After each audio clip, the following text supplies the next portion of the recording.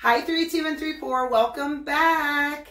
Take a look at Mrs. Moser today. She's in yet another costume. I'm going to go ahead and get right into our objective for today, but make sure you have some snacks and some drinks because this video is going to be a little longer like last week. So let's go ahead and take a look at our objective for today.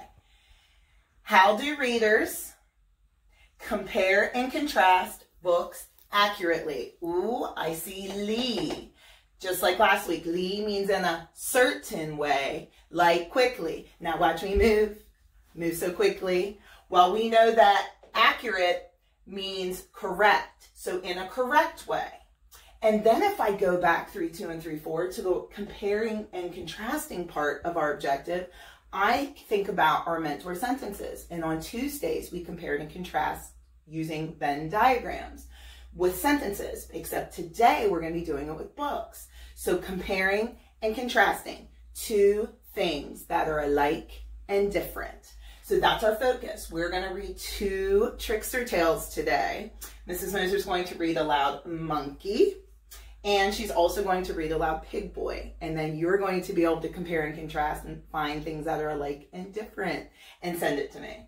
Okay, so before we go ahead and get started, you know Mrs. Moser likes to do her vocabulary words, but before we even do that, because we're doing Trickster Tales, I'm going to go ahead and do our Trickster Tale song. All right. So if you know it, make sure you sing it with your with me at your house. Okay.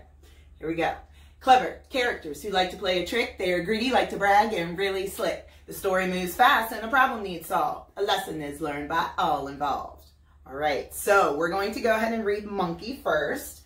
And let's take a look at our first vocabulary word up here, Mr. Moser. I want you to go ahead and try to sound out the word. Think about what it means and what it says.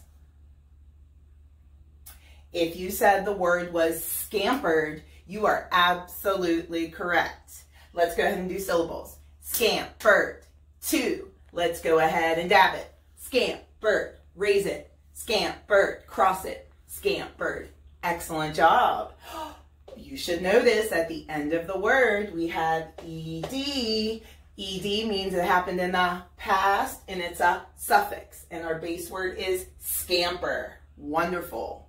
Now let's take a look at what scampered means. Quick, light steps.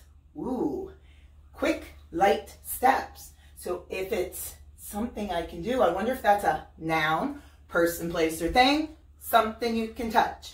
A verb, in action, something you can do, or an adjective, a descriptive word using all of your senses. Think about that for a second. Quick, light steps. If you said it was a verb, you are absolutely correct. Not only is it a verb, it's a past tense verb because of the ED. So, in our story, when Mrs. Moser reads the word scamper, this is what we're going to do.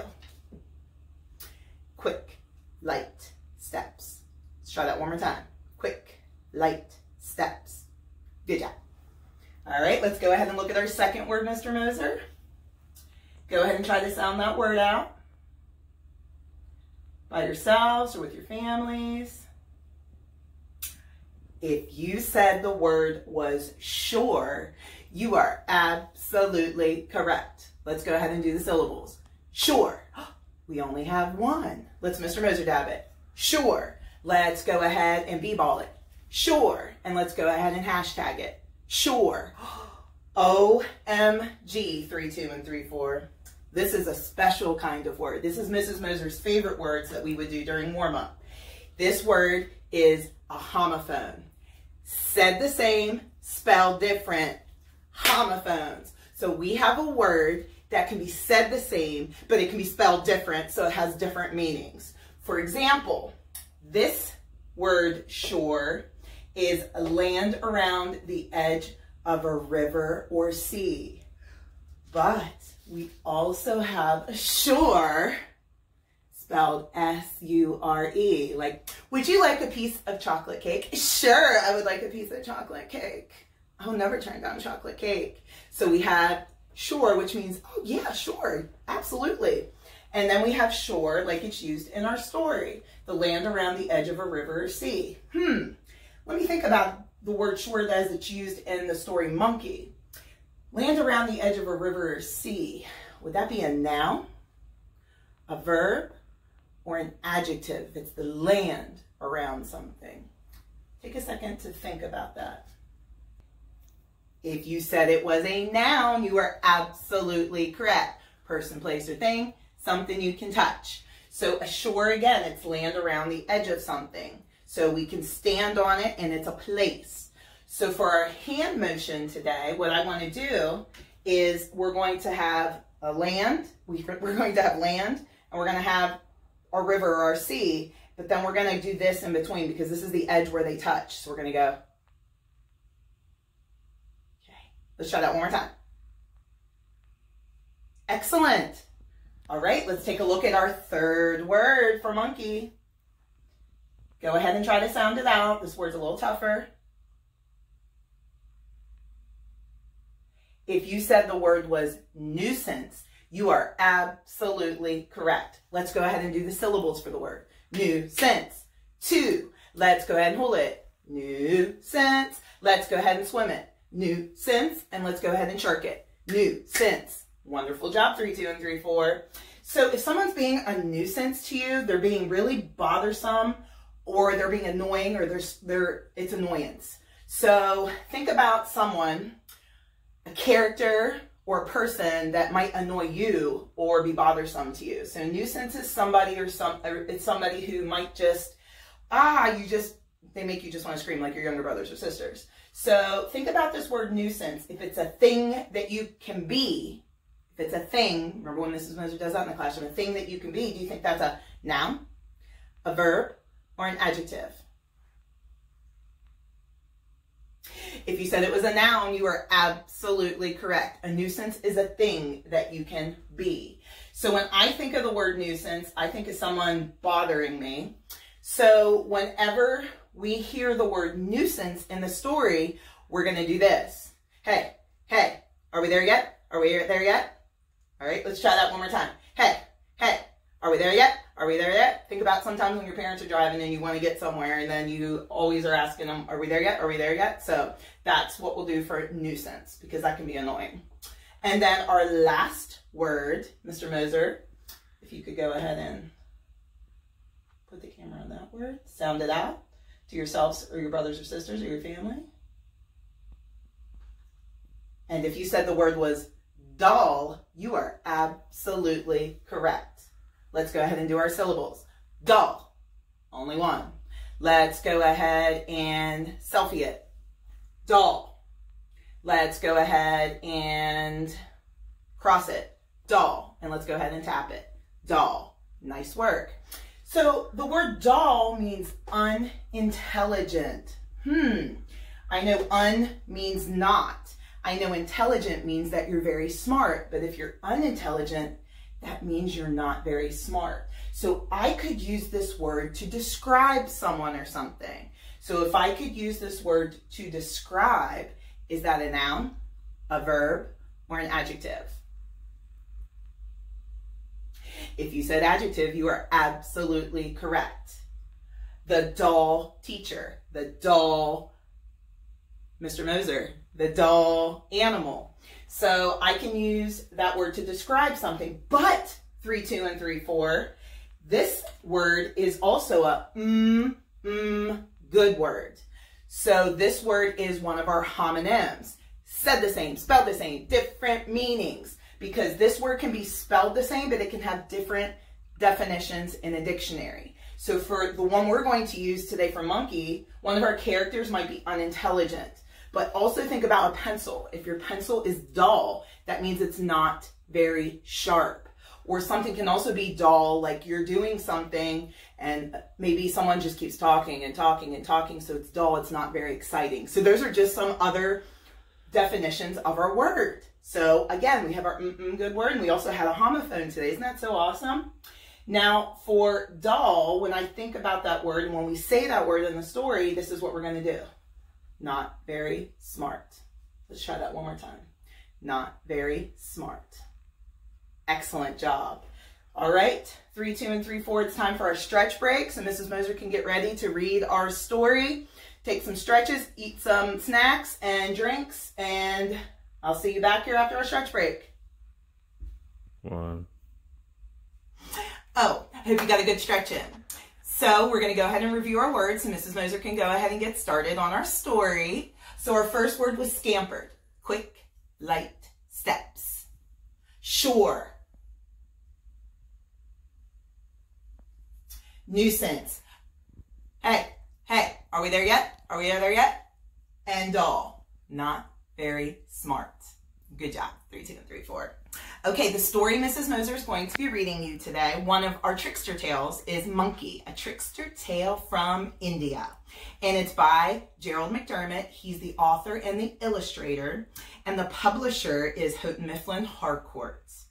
Well, before we go ahead and read, I want to do what I did last week, and I want to show you where India is on the map. So 3, 2, and 3, 4, this is a map of Asia, okay, which is one of our continents.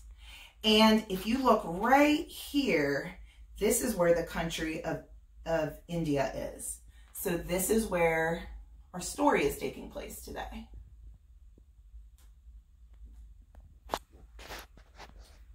Okay, I'm so excited to read this book. It's so wonderful. So remember, Trickster Tales, they like to play tricks, thinking about comparing and contrasting this book with our next one. Monkey! Chattering monkey. He lived high in a tree on the banks of a wide flowing river.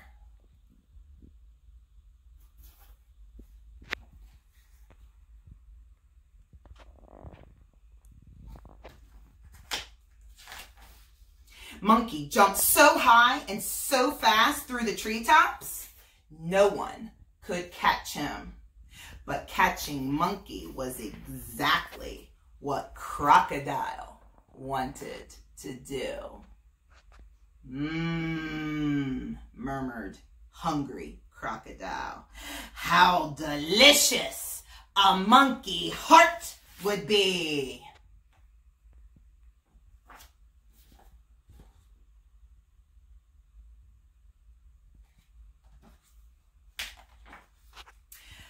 Crocodile slithered into the water. Good morning, monkey, he called out. Good morning, Crocodile, answered Monkey. Where are you going? To the island in the middle, middle of the river, answered Crocodile. Yum, said Monkey. Delicious mangoes grow there, and that's too far for me to swing. Climb on my back, my friend, said Crocodile. I'll take you to the island.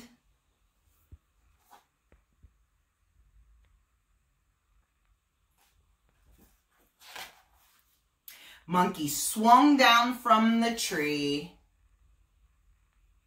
and hopped onto Crocodile's back.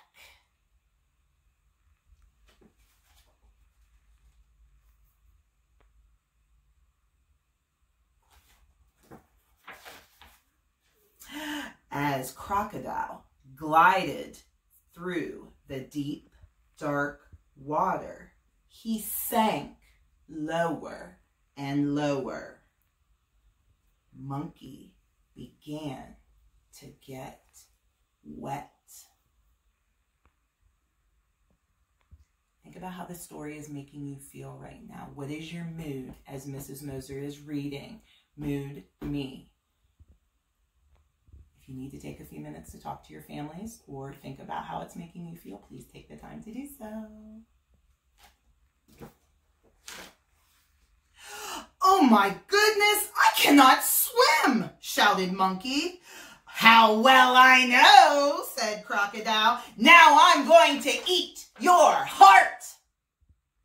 Eat my heart? said Monkey. What a pity. I left it up in the tree. You left your heart in a tree? Crocodile grumbled. Urgh. What a nuisance. Hey, hey, are we there yet? Are we there yet?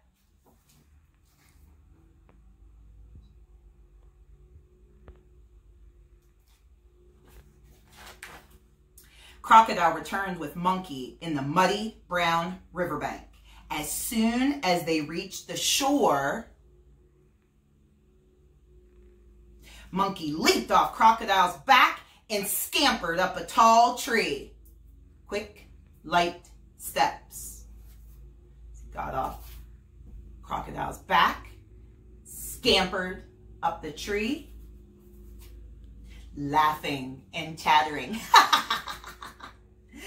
Look, my heart is here, called Monkey from the treetop. Just climb up and get it. Crocodile grunted and thrashed and swam away.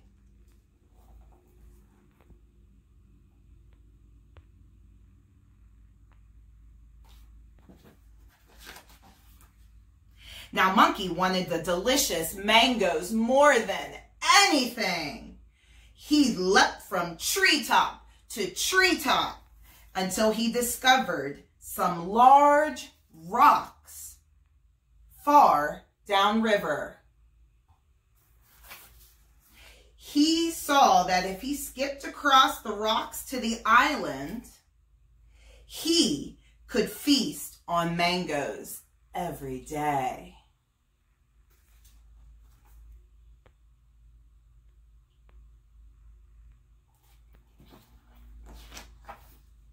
The next morning, Crocodile came swimming down the river looking for Monkey. He heard Monkey chattering. He saw Monkey jump from tree to rock to island. I shall pretend I'm a rock, said Crocodile. When Monkey jumps on me, I will snap him up, heart and all. Crocodile lay low in the water all day.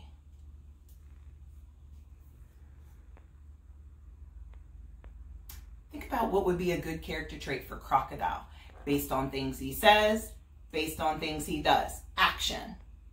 Talk about that with your families or think about it in your mind.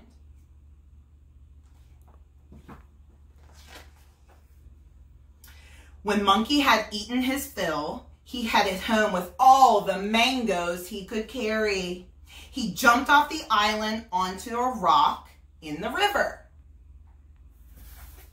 He was about to jump on another rock, but something was wrong.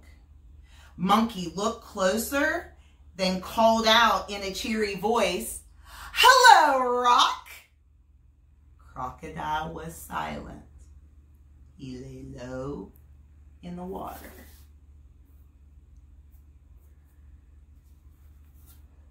Monkey called out again. I, I say, good evening, Rock. Crocodile said nothing.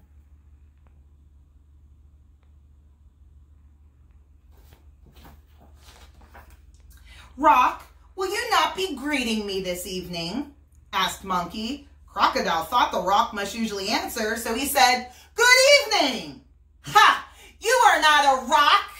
You are Crocodile. I'm as good as a rock, said Crocodile. You can jump on me to get to the other side.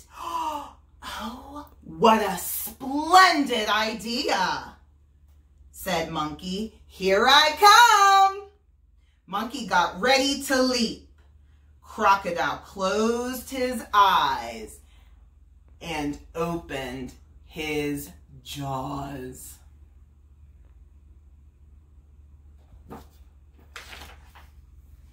But instead of leaping, Monkey popped a mango right in Crocodile's mouth.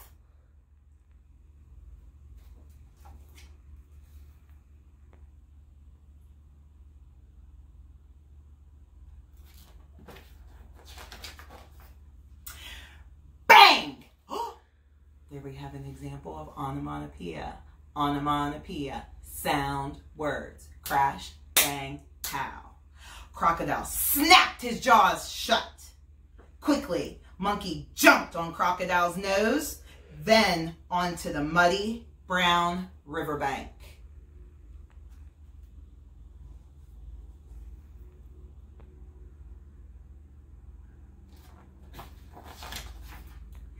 Laughing and chattering, monkey scampered, quick, light steps, up a tree and swung from branch to branch. Your teeth may be sharp, monkey shouted to crocodile, but your mind is dull, not very smart.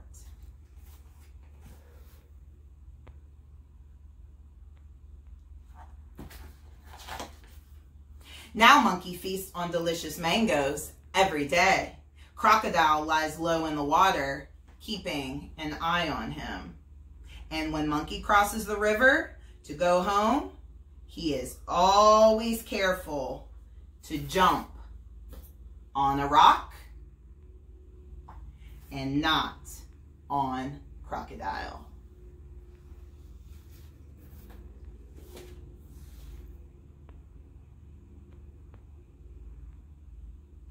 Oh, that crocodile. I want you to think about whose point of view is this story told from? Is this from first person point of view or third? And I also want you to think about what the central message theme is of this trickster tale. Okay, 3, 2, and 3, 4. This is our first trickster tale that Mrs. Moser was going to read, or did read, I should say. So Mrs. Moser is going to get ready for her second trickster tale, which is Pig Boy. So I will be, I will be back in a jiffy.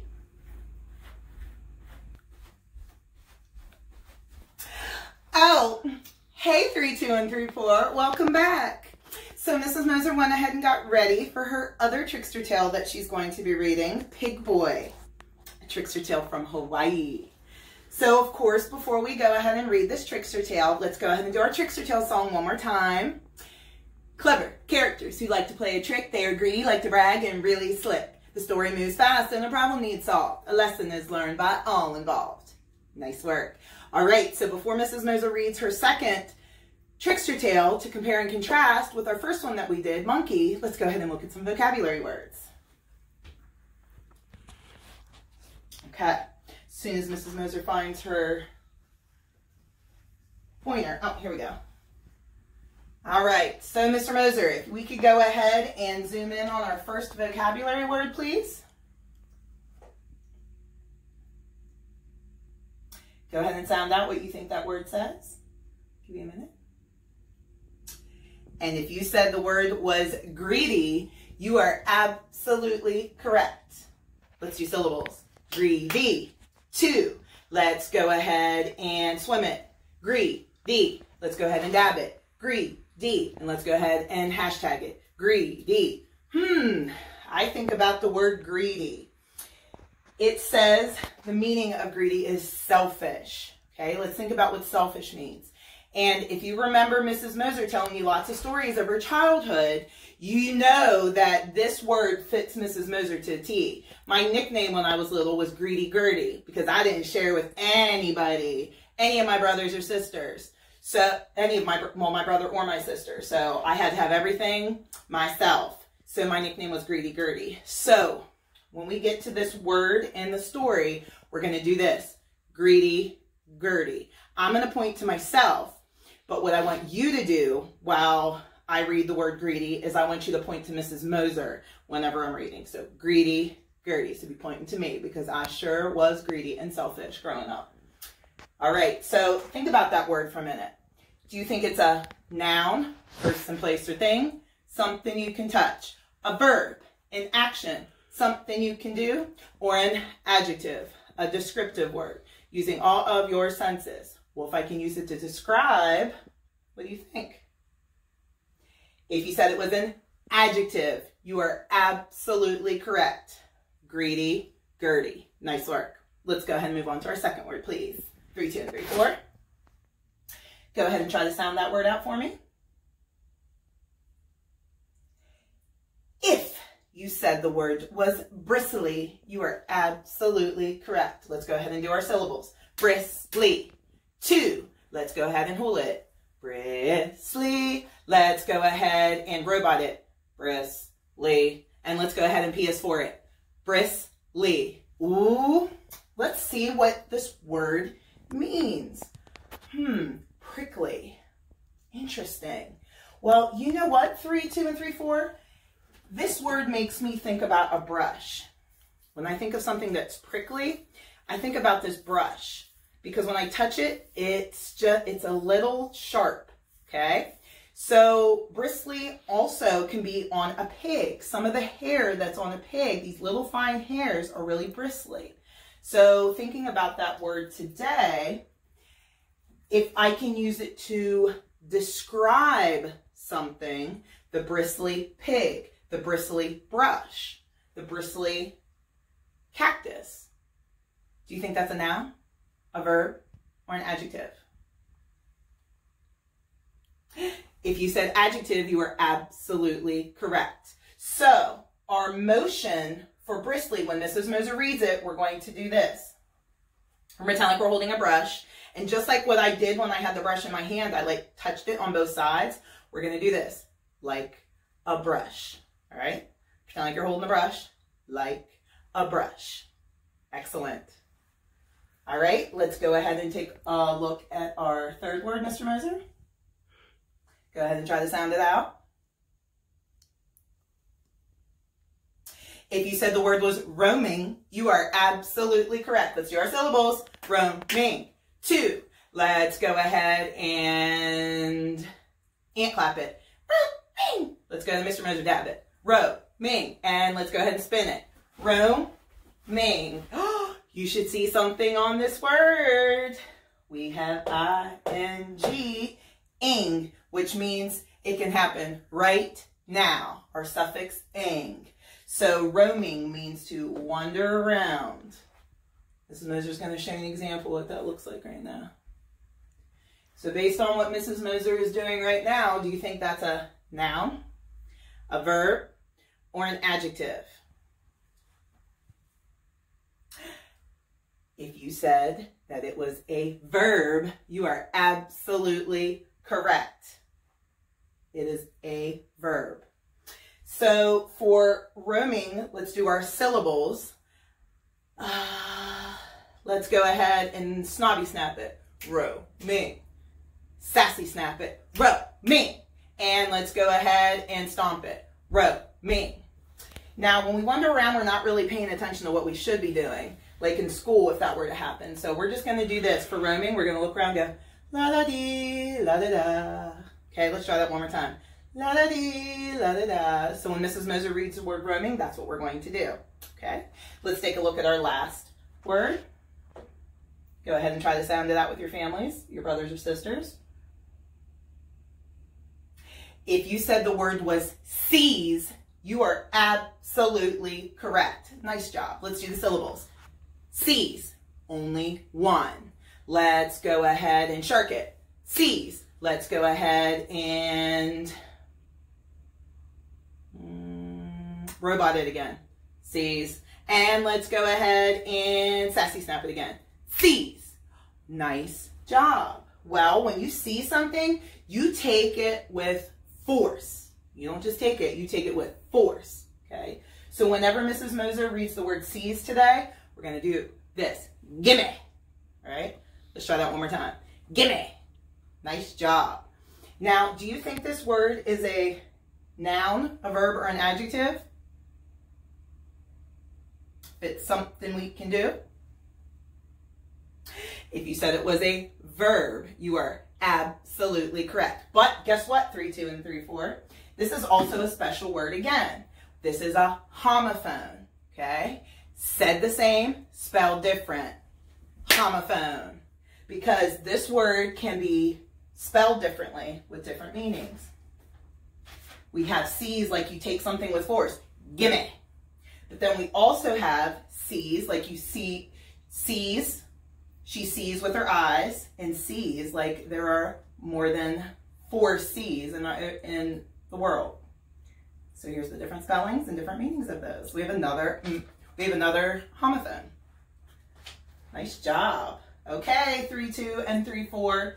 Mrs. Moser is going to go ahead and get ready to read her story. So go ahead and get your stretch break in, and I'm going to go ahead and get ready in a few, I'll be back in a few seconds.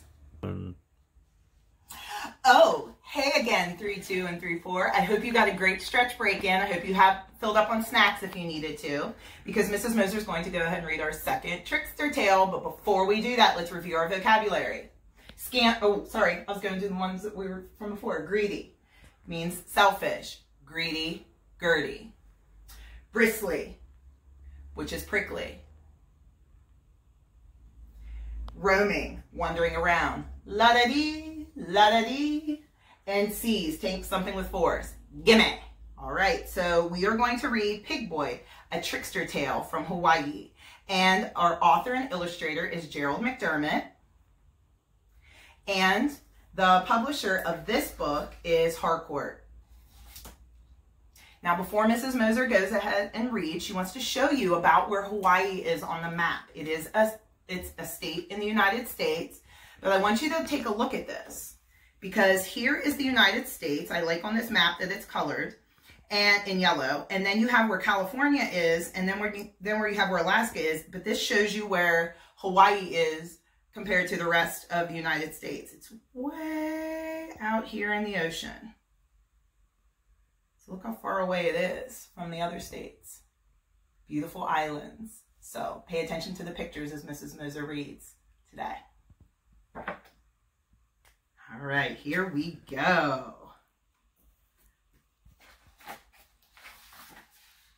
Pig Boy! When he was born, he was a hairy little hog. His ears were pointy and his tail was curly. His back was bristly and his snout was dirty.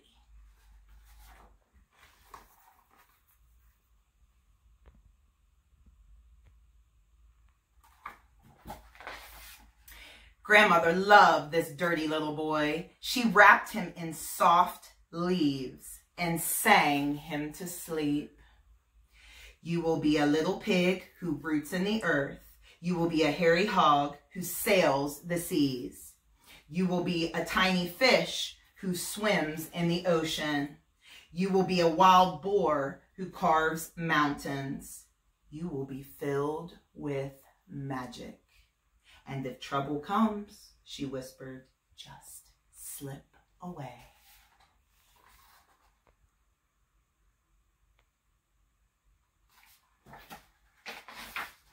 When Pig Boy awoke, he was very hungry. He began to eat. As he ate, he began to burp. As he burped, he ate more and more and more. He had eaten all the roots in grandmother's taro patch and he was still hungry.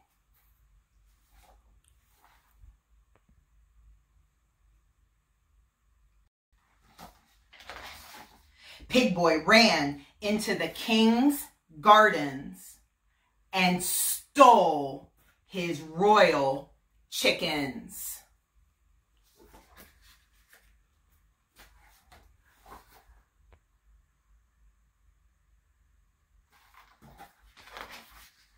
The king and his men chased after the greedy hog. Greedy, Gertie. They found him in the middle of a forest. Seize him, the king commanded. Gimme. Look at the size of Big Boy.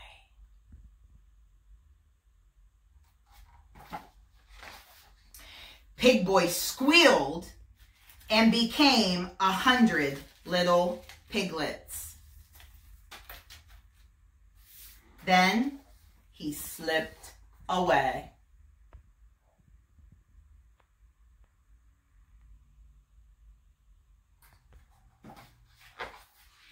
Pig Boy ran and ran until he came to the shore. we can make a connection from that word to our first story that we read, shore. He looked across the sea and saw Pele, the goddess of fire, perched on her smoking mountain. He hoped she would protect him from the king and his men. Think about how the story is making you feel right now. What's your mood? Talk about it with your families.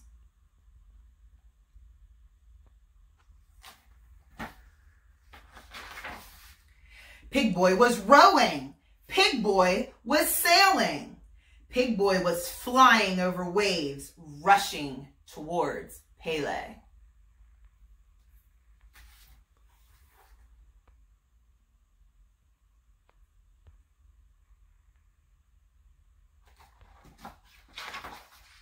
But when Pele saw the dirty, hairy little hog, she shouted, Swine, leave me alone! She shook the earth. She filled the sky with fire and smoke.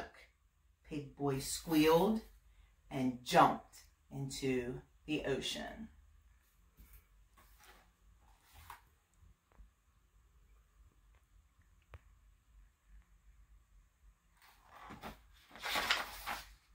He became the pig-nosed fish called Huma Nuku Nuku Apuawu. Then he slipped away. When Pig Boy leaped out of the water, the king was waiting.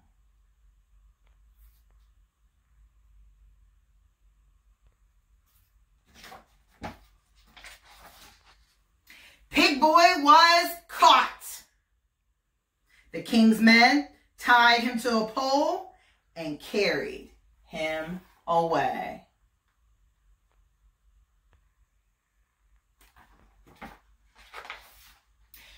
Snort, he grew bigger and bigger and bigger until he burst free. We have ER, which we know is a comparative adjective. Big, bigger. Think about a good character trait for Pig Boy based on things he says, based on things he does. Action. Grunt. Pig Boy ripped a path up the mountain with his bristly back. The waters rushed down and washed the king and his men.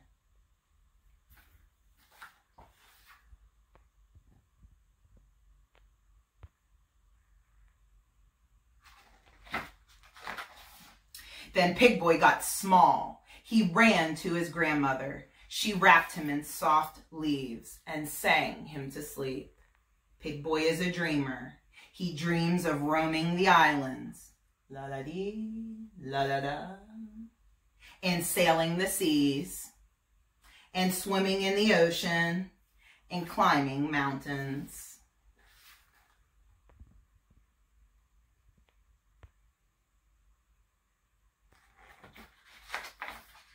And if trouble comes, as it always does, he just slips away.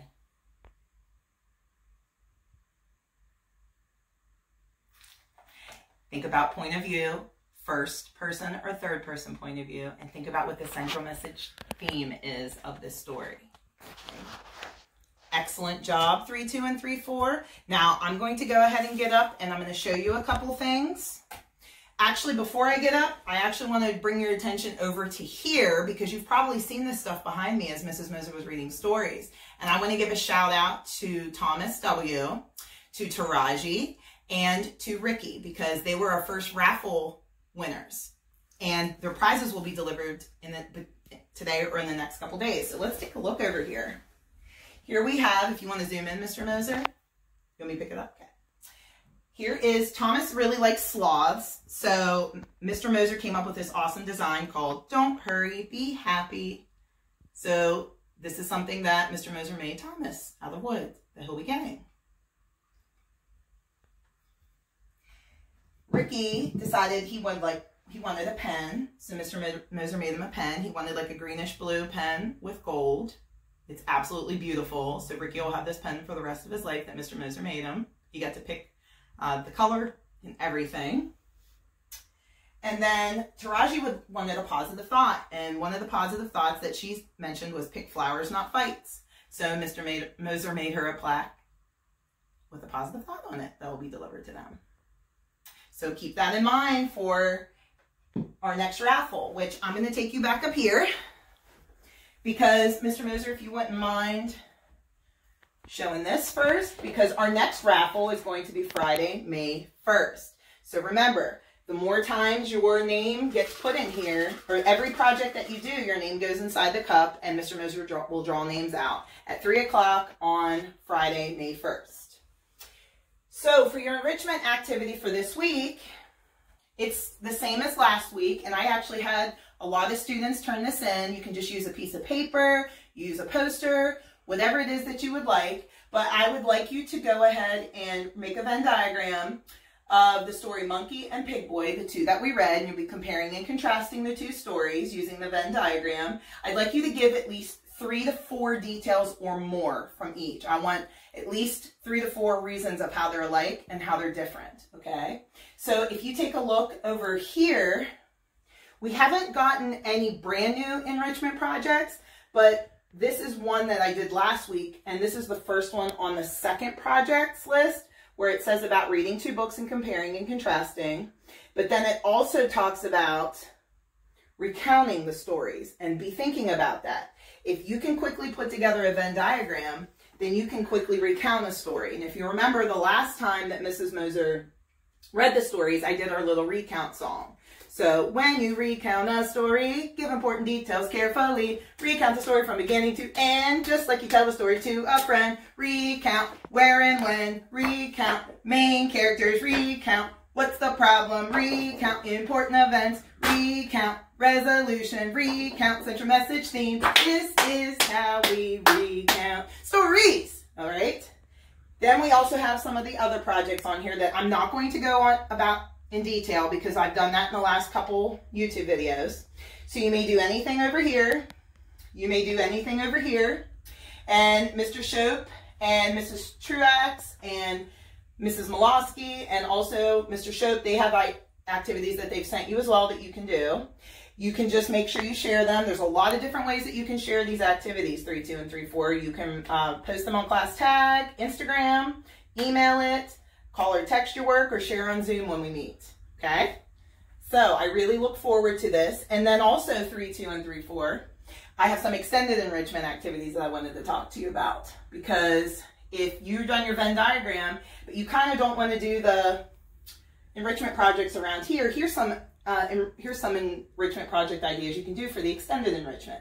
You can compare, comparing your contrast yourself to any character from any book. So it doesn't matter what book it is, you can compare and contrast yourself to another character. And a second thing that you could do for extended enrichment would be what was Crocodile's motivation and support with evidence? So what did he really, really want or really, really need? All right, so these are some additional activities that you can do that will also count for enrichment projects, okay? So I hope you enjoyed today's video. I love and miss you guys very much, and I can't wait to do a next video for you. I hope you watch. Love you, miss you. Mwah. Bye.